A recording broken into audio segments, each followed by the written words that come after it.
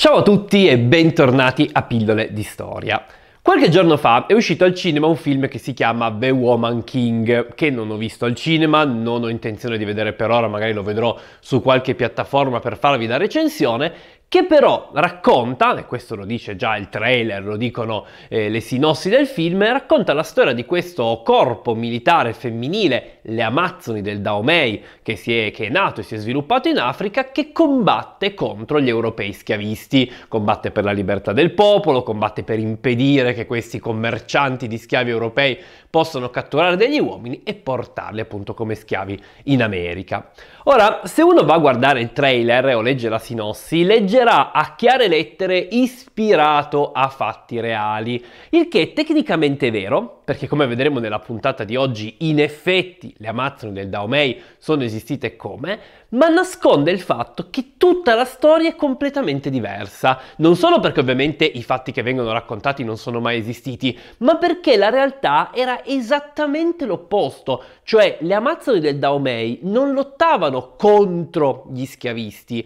ma lottavano a favore di un regno, il regno del Daomei, che campava catturando e vendendo schiavi. E la cosa incredibile è che in questa storia gli europei ad un certo punto combatterono contro il regno del Daomei non per catturare degli schiavi, ma per imporre loro di smettere di catturarli e di venderli. Insomma, una storia completamente ribaltata rispetto alla realtà, che però merita di essere raccontata, perché è particolare e come al solito permette di scoprire come la storia sia molto più complessa e molto più affascinante di quanto qualunque film di Hollywood ci possa raccontare. Quindi, come sempre, se non siete ancora iscritti al canale, fatelo, cliccate sulla campanella per essere aggiornati ogni volta che esce un nuovo video, sigla e poi iniziamo a raccontare la vera storia delle Amazzoni del Daomei.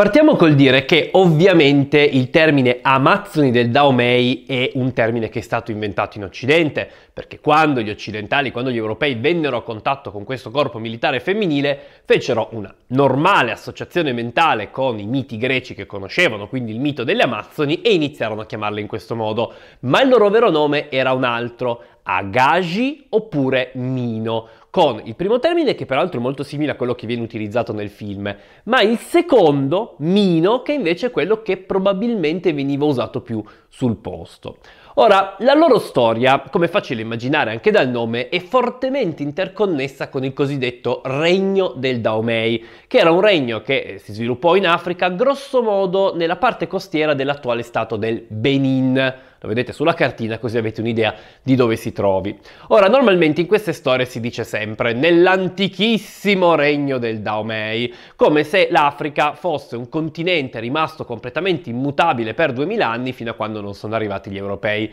a stravolgerlo. Ora, lungi me, da me dire che gli europei non abbiano fatto una quantità di porcate incredibili in Africa che ancora oggi vengono purtroppo scontate dai popoli di quelle zone, ma come facile pensare, l'Africa come continente era ovviamente un continente molto vivo, in cui molto prima che arrivassero gli europei erano già sorti molti regni, molti stati, questi stati erano cresciuti, avevano combattuto l'uno contro l'altro, erano scomparsi, erano stati sostituiti da altri, in una storia che è molto molto complessa e che viene molto poco raccontata e in questo faccio un mea culpa anch'io, anche se nel prossimo anno cercherò un po' di rimediare a questa situazione, un po' perché, diciamolo, tendiamo a a interessarci poco della storia africana prima dell'arrivo dei colonizzatori europei, un po' perché in effetti ci sono rimasti pochi reperti, perché la scrittura è stata introdotta molto tardi, perché molto spesso questi reperti sono stati fatti con materiali deperibili, come il legno, insomma tutte cose che hanno reso talvolta difficile ricostruire la storia. E la stessa cosa avviene in questo caso. Quello che però sappiamo è che in effetti il regno del Daomei non è così antico, perché sarebbe nato all'inizio del XVII secolo, secondo la tradizione tra il 1610 e il 1620, ad opera di un popolo che si chiama i Fon. I Fon, secondo la tradizione, sarebbero arrivati in questa zona, quindi ripeto la zona costiera del Benin, tramite una migrazione. Sarebbero nati in effetti da un altro popolo che si trovava più a nord-ovest, gli Agi, si sarebbero distaccati appunto all'inizio del 1600 e sarebbero migrati in questa zona, unendosi a delle tribù che si trovavano qui e che non avevano ancora costituito uno Stato autonomo, ma che già da molto tempo avevano dei piccoli potentati. Ora, questa è una leggenda di cui non possiamo verificare la realtà. Secondo altre fonti, infatti, non sarebbe una migrazione l'origine di questo popolo, ma proprio un'unione di varie tribù che, in maniera pacifica o più probabilmente unite da un qualche conquistatore, si sarebbero riunificate in un unico regno. C'è anche una versione, diciamo, intermedia che dice che alcuni nobili provenienti da un altro popolo si sarebbero spostati insieme a un esercito e avrebbero riunificato queste tribù. Ad ogni modo, come vi dicevo, questi Fon, una volta stabilitisi in questa zona del Daomei, crearono un proprio piccolo regno. Piccolo regno che in realtà fin dall'inizio non fu completamente autonomo, perché pur avendo un sovrano, divenne ben presto un protettorato di un regno molto più grande che si trovava ad oriente, che aveva il suo centro centro nell'attuale Nigeria. Ora non vi voglio dare troppi nomi, ma alcuni sono necessari, giusto anche per iniziare un po' a incuriosirsi su questa zona. Questo regno, che si chiamava il regno Oyo, era molto potente e in effetti tra il XVII e il XIX secolo crebbe moltissimo, fino non solo a inglobare buona parte della Nigeria, ma anche a sottomettere come stati vassalli buona parte degli stati vicino, soprattutto grazie alla sua cavalleria che era nettamente superiore a qualunque esercito che gli altri stati potessero mettergli contro. Ora, questa situazione durò praticamente indisturbata fino al 1720 momenti quando il nuovo sovrano del Benin, che si chiamava Agaja, decise di cambiarla. Ed è proprio qui che inizia la storia delle nostre Amazzoni del Daomei. Ora, il re Agaja, che sarebbe salito al trono all'incirca nel 1720, non aveva molto intenzione di piegarsi a questa situazione e per questo decise innanzitutto di espandere il suo regno e di farlo per cercare di occupare le zone più ricche a lui vicino, cioè le città costiere. All'epoca infatti già da parecchio tempo gli europei commerciavano con questa zona e ovviamente lo facevano con le città lungo la costa, che erano quelle più facili da raggiungere per le loro navi. Lo facevano addirittura da prima ancora, nel XVI secolo, prima ancora che i Fon si stabilissero in questa zona e avevano continuato a farlo negli anni successivi. Agaja decise di entrare in questo commercio e di farlo in maniera militare, come? Semplicemente prendendo il suo esercito e conquistando le città costiere, città che erano nelle mani di varie famiglie che non si erano unite fra di loro, che vennero una dopo l'altra spodestate e costrette a fuggire. Ovviamente questa espansione attirò l'attenzione del regno Oyo, che non aveva nessuna intenzione di vedere un suo vassallo crescere troppo, temendo che potesse distaccarsi, e che per questo decise di mandare il proprio esercito per cercare di spegnere l'indipendenza del Daomei. Agagia però, che non era uno stupido, aveva ben presto reintrapreso i commerci con gli europei, europei che non si erano fatti molti problemi su chi fosse la loro controparte nel commercio, avevano accettato i nuovi dominatori senza nessun problema. E Agagia aveva iniziato a commerciare con questi europei importando soprattutto delle armi da fuoco, armi da fuoco che non erano molto moderne, ovviamente non erano molto evolute, ma che quando vennero utilizzate contro gli Oyo che non le avevano e che usavano invece principalmente dei cavalli che si spaventarono quando sentirono i colpi di queste armi da fuoco, si rivelarono in effetti ottime. Agaja con il suo esercito riuscì non solo a frenare la furia degli Oyo, ma anche a respingere le loro truppe e addirittura ad occupare una parte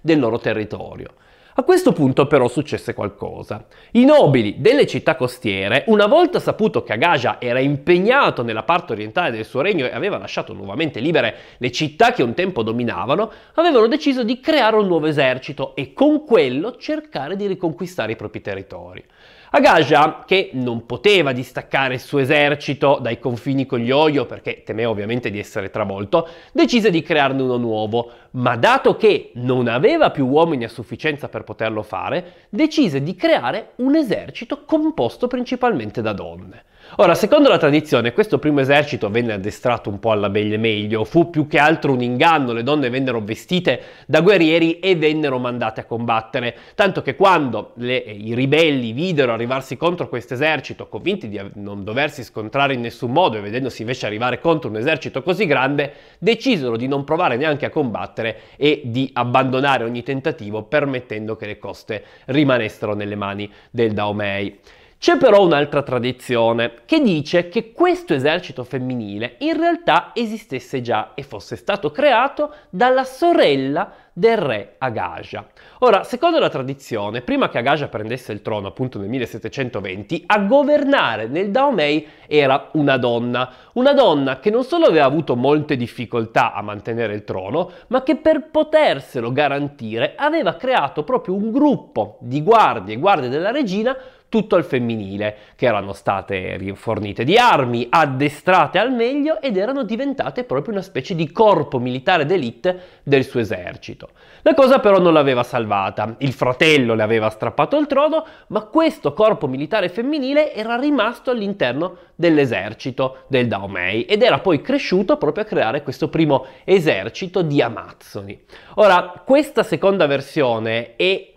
leggendaria, non sappiamo se sia reale. Addirittura ci sono alcune fonti che dicono che questo corpo sarebbe nato un secolo prima all'arrivo dei Fon e sarebbe stato un corpo militare legato all'utilizzo degli elefanti. Ma ripeto, non ci sono fonti di, che ci assicurino questa, questa cosa e addirittura ci sono alcuni storici che ritengono sia leggendaria la figura della sorella del sovrano, anche perché c'è da dire che secondo la maggior parte delle fonti quando Agaja salì al trono, decise di cancellare il ricordo della sorella un po' come fosse una damnatio memorie di epoca latina. Ad ogni modo, questo corpo femminile dimostrò tutto il suo valore e negli anni successivi, anche dopo la morte di Agaja, anche dopo che la sua morte vide altri sovrani alternarsi senza riuscire a ripeterne le gesta, anzi gli Oyo negli anni successivi tornarono e sottomisero nuovamente il Daomei costringendolo a pagare tributo, ma negli anni successivi in qualche modo queste Amazzoni continuarono a sopravvivere. Ora, abbiamo parlato un po' dell'aspetto storico-militare, ma prima di andare avanti, perché poi la seconda parte vedrà queste Amazzoni cambiare nuovamente, bisogna parlare un po' dell'aspetto economico, perché come abbiamo detto nell'introduzione, la base del film è quella secondo la quale questo regno del Daomei sarebbe stata la preda degli europei, degli schiavisti europei che qui arrivavano per catturare i loro schiavi. Ora, la realtà è esattamente l'opposto. La schiavitù in Africa è verosimilmente qualcosa di antichissimo, così come è antichissimo per qualunque civiltà, ma se vogliamo limitarci al commercio potremmo dire in grande stile di schiavi, potremmo dire che venne introdotto in Africa, per quanto ne sappiamo, intorno all'ottavo, nono secolo d.C., quando gli arabi che avevano conquistato la, il nord dell'Africa, la costa lungo il Mediterraneo, iniziarono a spingersi verso sud, arabi e berberi, per cercare di catturare degli schiavi. Ora, inizialmente erano direttamente gli schiavisti arabi a compiere questi raid, arrivavano vicino a dei villaggi che magari vivevano subito a ridosso della parte meridionale del Sahara, catturavano uomini, donne e bambini e li portavano ai mercati nel Mediterraneo. Progressivamente però i regni africani del nord, al di sotto del Sahara, avevano capito che la cosa poteva essere vantaggiosa e quindi si erano trasformati essi stessi in degli schiavisti, avevano iniziato a lanciare dei raid verso gli stati vicino, verso delle tribù isolate, avevano iniziato a catturare a loro volta uomini, donne e bambini e avevano iniziato a venderle proprio ai mercanti arabi e berberi, che così da schiavisti avevano iniziato a fare semplicemente i commercianti, cosa che da una parte ovviamente gli dava qualche guadagno in meno, ma dall'altra parte rendeva il lavoro molto più sicuro e alla lunga molto più redditizio. Questi stati africani subsahariani che per anni camparono di questo commercio iniziarono a diventare molto molto ricchi, tanto che progressivamente questa pratica si diffuse a varie zone dell'Africa, soprattutto nell'Africa occidentale. Nel XV secolo, come è facile pensare, lo sapete tutti, inizia il periodo delle grandi scoperte, gli europei iniziarono a venire a contatto con queste zone. E quando, dopo aver scoperto le Americhe, iniziarono ad impiantare in questa zona piantagioni, costruire miniere e iniziarono ad aver bisogno di un gran numero di manodopera, manodopera che inizialmente trovarono tra gli indios locali, ma poi questi diminuirono a causa delle malattie, delle privazioni, delle guerre, quando iniziarono ad aver bisogno di manodopera decisero di iniziare a procurarsela in Africa e così anche gli europei iniziarono a diventare dei commercianti di schiavi. Esattamente come era successo per gli arabi, se inizialmente erano gli europei direttamente, i commercianti europei, a procurarsi gli schiavi sulle coste, ben presto iniziarono a essere i regni stessi a farlo e il regno del Daomei divenne uno di questi regni. Regni che, ripeto, campavano per la maggior parte proprio sulla vendita di schiavi. Quanto fosse grande questo commercio ce lo dicono alcuni numeri. Pensate che la città più importante da questo punto di vista per il Daomei, cioè la città di Ouida, al momento di massimo fulgore di questo mercato a metà del XVIII secolo, vedeva passare dai 10.000 ai 15.000 schiavi venduti ogni anno, un numero assolutamente enorme, enorme, pensate quante navi negriere potevano attraccare in questa zona. E ovviamente una buona parte di questo guadagno finiva nelle casse del sovrano del Daomei. In realtà le cose erano molto più complesse di quanto potevamo, possiamo immaginarci, innanzitutto dal punto di vista economico, perché si era venuto a creare una specie di economia triangolare, qualcosa ne abbiamo già detto quando abbiamo raccontato la storia del Rume, un'economia che prevedeva che dall'Africa partissero schiavi che venivano portati nelle Americhe, nelle Americhe partissero materie prime che venivano portati o in alcune città sempre in America per essere trasformati in prodotti finiti o addirittura in Europa e poi dall'Europa partissero questi prodotti finiti per essere venduti in Africa e per acquistare schiavi, facendo appunto questa economia triangolare. Inoltre esistevano tutta una serie di accordi anche locali. Innanzitutto perché molti dei nobili, anche all'interno del regno del Daomei, volevano che i loro figli studiassero all'estero, magari eh, semplicemente imbarcandosi sulle navi dei negrieri e qui imparando qualcosa sul resto del mondo, tutte cose che ovviamente potevano poi essere portate in patria ed essere utilizzate. Ma inoltre il regno riusciva in questo modo ad assorbire anche tutto un certo numero di prodotti che ovviamente arrivavano dall'estero, tra cui anche armi, le famose armi da fuoco che già erano servite con yo-yo e che sarebbero poi servite anche in futuro. C'erano poi altri accordi, accordi particolari, accordi che ad esempio prevedevano che se un uomo del regno del Daomei fosse stato catturato come schiavo e questo uomo poi riconosciuto come tale da un altro membro del regno, poteva, anzi doveva essere liberato. Una cosa che ovviamente per gli schiavisti era una perdita,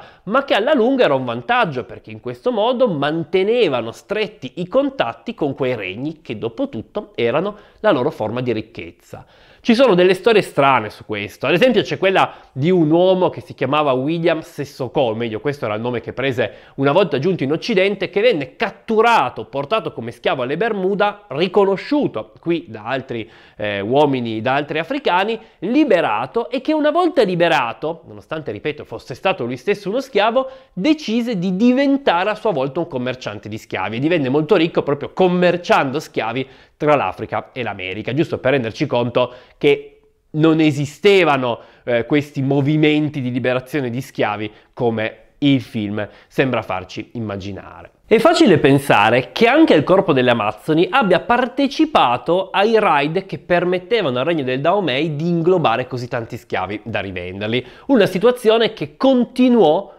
per tutto il XVIII secolo. All'inizio del XIX, intorno al 1815-1820, un nuovo sovrano, che si chiamava Ghezzo, decise nuovamente di utilizzare i suoi contatti e la sua ricchezza per rendere grande il regno del Daomei. Ghezzo aveva preso contatti con un commerciante di schiavi brasiliano che si chiamava Feliz de Souza, che divenne famosissimo in questa zona del Benin, tanto addirittura da diventare governatore di alcune città, essere considerato ancora oggi in alcune città un benefattore perché costruì porti, ampliò strade, addirittura se andate oggi ad Ouida troverete una statua in suo onore, ripeto, una statua in onore di uno schiavista, che sta in una città africana perché quello era uno dei punti di passaggio appunto degli schiavi. Bene, i contatti tra Ghezzo e Felix de Sousa portarono il primo a decidere di tornare ad espandere il suo regno e per poterlo fare una delle prime cose che fece fu ovviamente di aumentare il numero di armati, aumentare il numero di truppe dell'esercito regolare, ma aumentare anche il numero di truppe tra le Amazzoni. Ora, le Amazzoni all'inizio del XIX secolo aumentarono quindi e divennero addirittura un corpo tra i 2.000 e i 6.000 soldati, quasi un terzo dell'esercito totale. Un corpo che non solo era considerato essere uno tra i meglio riforniti, con le armi più moderne, le attrezzature migliori, ma anche uno dei meglio addestrati, anche perché le donne che vi servivano non erano donne che normalmente stavano nei villaggi, facevano figli e poi venivano richiamate per la guerra, ma erano donne a tutti gli effetti pagate, cresciute e addestrate solo per essere guerriere. Secondo quanto si racconta, queste donne avevano varia provenienza. Alcune erano state catturate, magari da giovanissime per essere vendute come schiave e gli era poi stata offerta la possibilità di entrare nel corpo. Altre invece erano donne dei Fon, dell'etnia Fon, che avevano deciso di seguire questa strada per poter salire la scala sociale,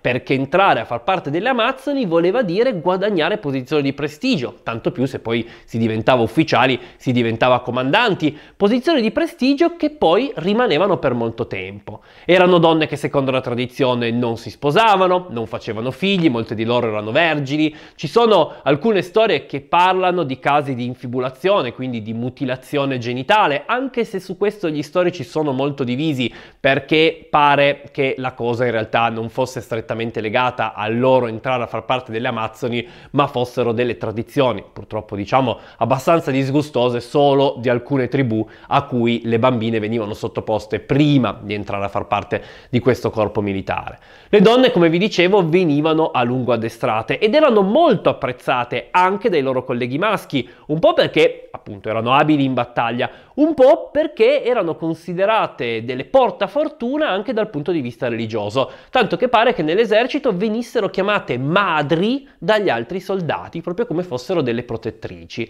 C'è poi tutto un aspetto legato alla religione locale, il cosiddetto Vodun, che eh, prevedeva appunto la figura femminile come una protettrice in ambito militare, capirete come appunto questo corpo, sotto un certo punto di vista, divenne veramente un corpo simbolo dell'esercito del Daomei. Utilizzando queste amazzoni, ma soprattutto utilizzando le nuove armi che erano state a lui fornite dai mercanti di schiavi, eh, Ghezzo decise di intraprendere una nuova campagna contro gli Oyo, una campagna che questa volta vide vincitore l'esercito del Daomei, anche grazie al fatto che gli Oyo, che per tutto il XVIII secolo avevano continuato ad espandersi, all'inizio del XIX erano entrati in crisi a causa di una serie di invasioni che provenivano da nord, a causa di una serie di scontri tra vari nobili locali e non furono in grado di esprimere una difesa, permettendo così ai Daomei di ricacciare gli Oyo indietro e di liberarsi. A questo punto, divenuti nuovamente autonomi ed espanso nuovamente il loro territorio,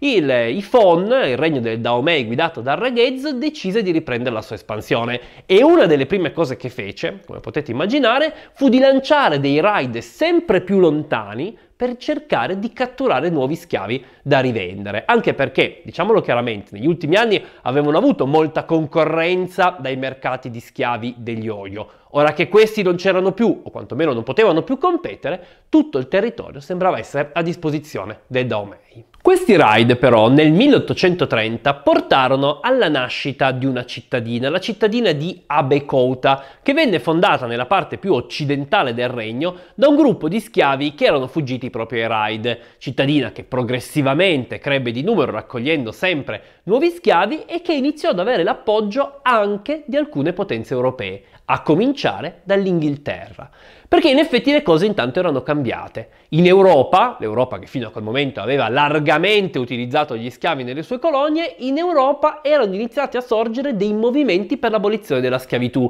e addirittura in alcuni stati, tra cui appunto l'Inghilterra, questi movimenti l'avevano avuta vinta e l'Inghilterra era diventato uno Stato che vietava la schiavitù, ma non solo la vietava, ma addirittura in quegli anni intraprenderà tutta una serie di campagne lungo le coste africane per impedire che il commercio di schiavi potesse continuare. Che poi lo si facesse principalmente per motivazioni economiche, questo è un altro discorso, ma in realtà gli effetti furono quelli, cioè tutti coloro che fino a quel momento avevano commerciato in schiavi in carne umana iniziarono a dover soffrire gli attacchi da parte della marina inglese, che all'epoca, come tutti voi sapete, era la marina più forte del mondo. Bene, quando il regno del Daomei, quando il re Ghezzo cercò di attaccare la cittadina di Abekouta, non solo trovò degli uomini molto convinti nella sua difesa, perché ovviamente stavano lottando per la propria libertà, per la propria indipendenza, ma si trovò addirittura a scontrarsi con gli stessi inglesi, che prima cercarono di fermare gli scontri, poi non si fecero nessun problema a rifornire di armi Abekouta e addirittura a supportarla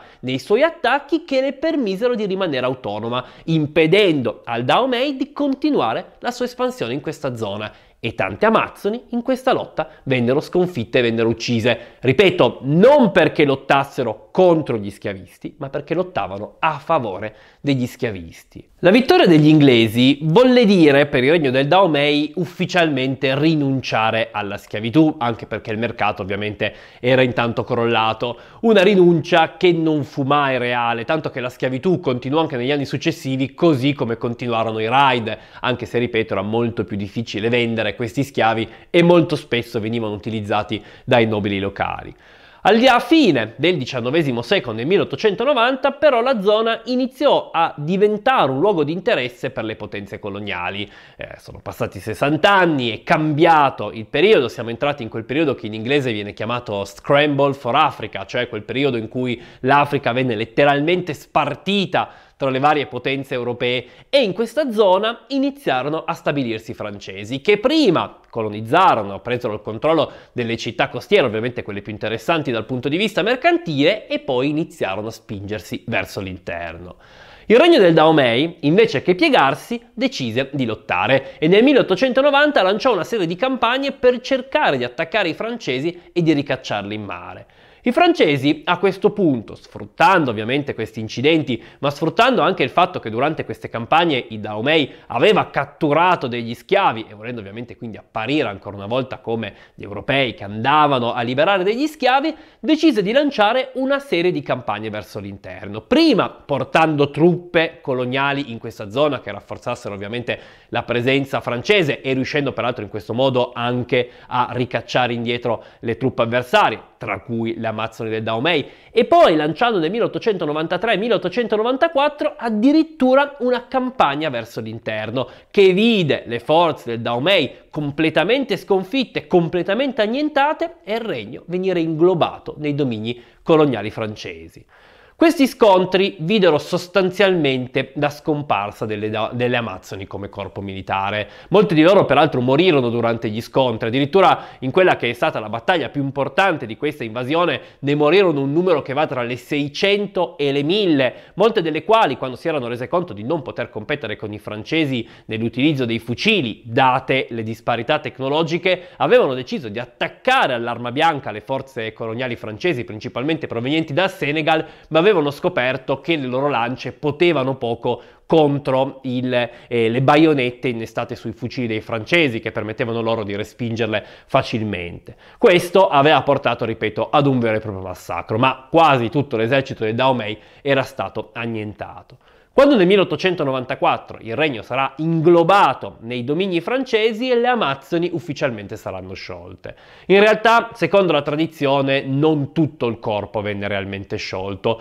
Una parte, ripeto, queste sono leggende, non ci sono grosse prove, iniziò ad operare in incognita, come avevano fatto peraltro nelle ultime fasi della guerra, operando di nascosto, entrando nei villaggi occupati dai francesi, cercando di uccidere gli ufficiali francesi, magari avvicinandosi loro, fingendo di essere delle semplici donne del villaggio e continuando a portare terrore agli invasori. Altre invece rimasero insieme al sovrano, sovrano che dovette rinunciare ovviamente al suo titolo, ma che rimase nei propri palazzi e che da quel momento si trovò ad avere molte più mogli di prima, alcune delle quali però pare non fossero veramente mogli, ma continuarono a essere un corpo di guardie del corpo di Amazione del Daomei che lo continuò a seguire e a proteggere anche negli anni successivi. Molte di loro però dovettero tornare ai loro villaggi originali, dovettero rinunciare al loro prestigio, dovettero rinunciare al loro ruolo ed è facile pensare che per molte di loro fu un ritorno decisamente molto molto traumatico.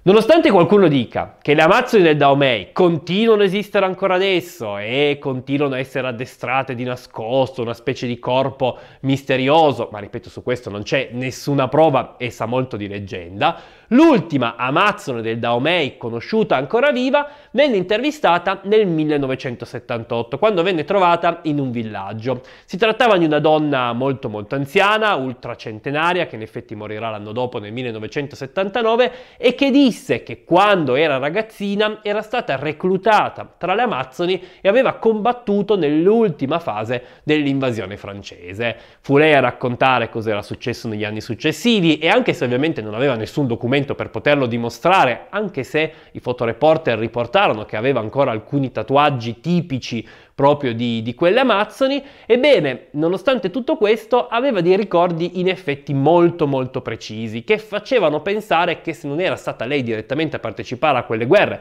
non si poteva ca- capire veramente quando fosse nata, sicuramente aveva ricevuto quei racconti di prima mano da qualcuno che vi aveva partecipato. Ad ogni modo, anche quest'ultima Amazzone nel 1979 si spense e la loro storia, almeno ufficialmente, finì qui.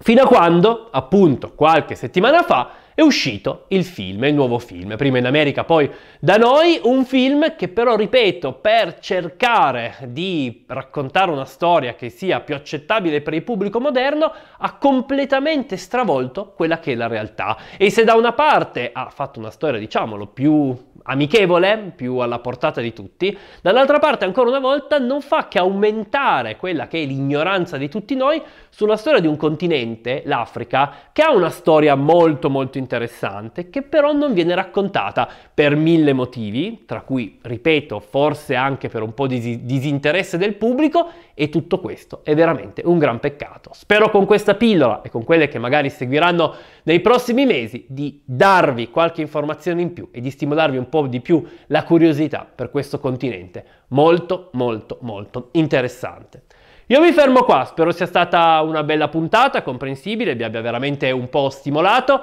Come sempre ringrazio tantissimo chi ci supporta, abbonati, Patreon, da poco anche coloro che ci supportano magari ogni tanto con delle donazioni dirette sul conto PayPal, li trovate tutti in descrizione. Io vi ringrazio come sempre tutti, eh, volevo fare una stima, forse l'ho già detto, ma tanto per darvi un'idea, nel mese di novembre grazie al supporto di chi ci aiuta siamo riusciti a portare 6 video in più, quindi come vedete grazie al loro supporto riusciamo a portare più materiale per tutti e questo è veramente una cosa secondo me fantastica. Oggi voglio ringraziare tantissimo Luca Inverno Muto. Grazie mille per il tuo sostegno e complimenti perché hai un nick veramente strepitoso. Ti dirò, agli albori, albori, albori, uno dei primissimi nick che utilizzavo io eh, nei videogiochi, non ancora online, in single, era proprio Inverno Muto perché è ispirato ad un libro che assolutamente adoro. Per il resto, come sempre, io ricordo a tutti di essere curiosi, perché la storia del mondo là fuori è piena di avvenimenti e storie fantastiche, storie incredibili che nessuno scrittore, nessun regista avrà mai la fantasia di mettere nelle loro opere.